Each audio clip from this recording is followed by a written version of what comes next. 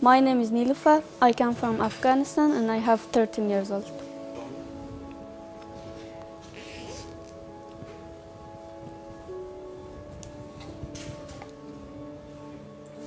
When I see this picture, I feel so good, so happy because I I love I like when I was small and when I have third class with my friends.